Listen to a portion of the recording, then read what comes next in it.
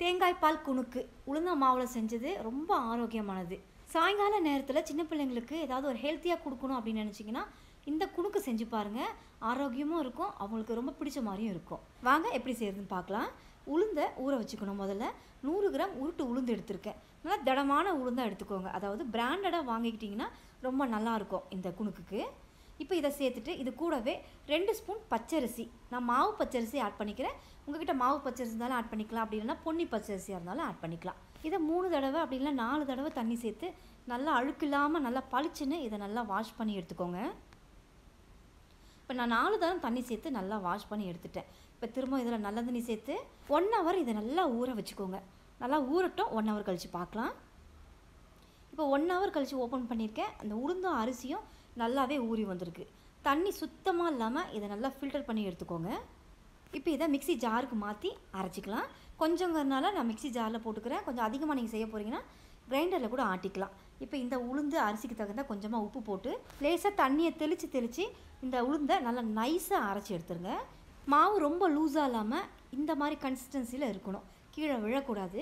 இந்த மாதிரி கையில் எடுத்தோம் அப்படின்னா இந்த மாதிரி அழுக்காக இருக்கணும் மாவு.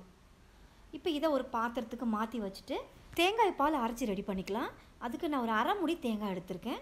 தேங்காயில் இருக்கிற அந்த மேல் தோலை விருப்பப்பட்டீங்கன்னா எடுக்கலாம்.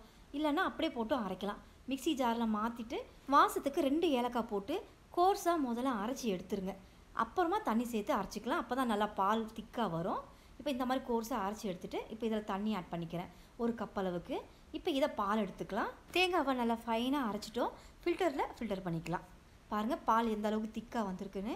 திரும்பவும் இந்த தேங்காய் சக்கையில் ஒரு அரை கப்புக்கு தண்ணி சேர்த்து ரெண்டாவது பால் எடுத்துடலாம். இப்போ இதையுமே இதே பாலில் ஃபில்டர் பண்ணி எடுத்துக்கிறேன். நம்ம எடுத்த உளுந்த மாவுக்கு இந்த அளவுக்கு தேங்காய் பால் எடுத்து வச்சுக்கோங்க. இப்போ நெக்ஸ்ட் இதில் நாட்டு சக்கரை மூணு ஸ்பூன் சேர்த்து நல்லா மிக்ஸ் பண்ணி விட்டுக்கலாம்.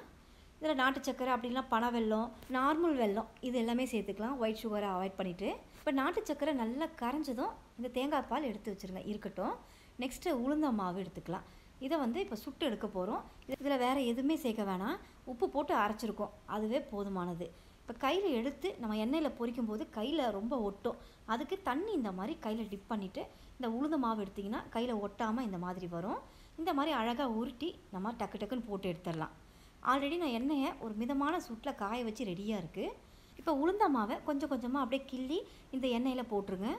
நீங்கள் கடாயில் எந்த அளவுக்கு எண்ணெய் சேர்க்குறீங்களோ அதுக்கு நிறக்க இந்த மாவை கிள்ளி போடுங்க. ஒன்று ஒட்டாது. இந்த மாதிரி எல்லாத்தையும் ஃபுல்லாக போட்டு இதை ரொம்ப நேரம் வேக விடக்கூடாது செவக்கக்கூடாது வடையை சுட்டு எடுக்கிற மாதிரி செவக்க நீங்கள் இதை பொறிச்சு எடுத்துட்டிங்கன்னா தேங்காய் பாலில் ஊறவே ஊறாது. மாவை போட்டு ஒரு நிமிஷம் இல்லை ஒன்றரை நிமிஷத்துலேயே இதை திருப்பி போட்டு உடனே எடுத்துடணும். லேசாக வெள்ளையாகவே எடுத்துருங்க. இந்த மாதிரி எடுத்தால் உள்ள மாவு வேகமாக நீங்கள் நினைக்கலாம். கண்டிப்பாக வெந்துடும் இது உளுந்து மாவுங்கிறனால இப்போ சேர்த்து ஒரே நிமிஷம் தான் நான் ஒன் சைடு நல்லா ஃப்ரை பண்ணியிருக்கேன். உடனே திருப்பி போட்டுக்கிறேன். திருப்பி போட்டோம். ரொம்ப செவக்காமல் நம்ம இந்த கலருக்கு எடுத்திங்கன்னா கரெக்டாக இருக்கும். இப்போ ரெண்டு பக்கம் நல்லா ஃப்ரை ஆயிடுச்சு நல்லா வெந்துருச்சு. இப்போ உடனே எடுத்துருங்க ரொம்ப செவக்க வேண்டாம். இப்போ எண்ணெயிலேருந்து நல்லா ஃபில்டர் பண்ணிவிட்டு இது எல்லாத்தையுமே எடுத்துடலாம். உளுந்த மாவை ரொம்ப நேரமும் ஊற வைக்கக்கூடாது ரொம்ப சீக்கிரமாகவும் ஊற வச்சு எடுத்துடக்கூடாது. கரெக்டாக ஒன் ஹவர் ஊற விட்டிங்கன்னா எண்ணெய் சுத்தமாக குடிக்கவே குடிக்காது. இப்போ எல்லாத்தையுமே எடுத்துட்டோம். மீதி இருக்கிற மாவையும் இன்னொரு பேட்ச் போட்டு எடுத்திருக்கேன். இப்போ உளுந்த மாவை எல்லாத்தையுமே நல்லா சுட்டு எடுத்தாச்சு. உளுந்த மாவு பாருங்கள் உள்ளே எந்த அளவுக்கு வெந்திருக்குன்னு. சூப்பராக வெந்திருக்கு. நெக்ஸ்ட்டு தேங்காய் பால் எடுத்துக்கோங்க. ஒரு முறை நல்லா மிக்ஸ் பண்ணிக்கோங்க. மிக்ஸ் பண்ணிவிட்டு நம்ம பொறிச்சு வச்ச உளுந்தங்குணுக்க இந்த தேங்காய் பாலோடு சேர்த்துருங்க. இந்த குணுக்கு இந்த தேங்காய் பாலோட ஊற டைம் பார்த்தீங்கன்னா ரொம்ப நேரம்லாம் இல்லை. ஜஸ்ட்டு ஒரு ரெண்டே நிமிஷம் தான். நல்லா மிக்ஸ் பண்ணிங்கன்னா நல்லா ஊறிடும் சுவையான தேங்காய் பால் குணுக்கு ரெடி கண்டிப்பாக நீங்களும் ட்ரை பண்ணி பாருங்கள் ட்ரை பண்ணி பார்த்துட்டு எப்படி இருக்குன்னு கமெண்ட் பண்ணுங்கள் வீடியோ பிடிச்சிருந்தா மறக்காமல் சப்ஸ்கிரைப் பண்ணுங்கள் ரொம்ப பிடிச்சிருந்தா லைக் ஷேர் பண்ணுங்கள் தேங்க்ஸ் ஃபார் வாட்சிங்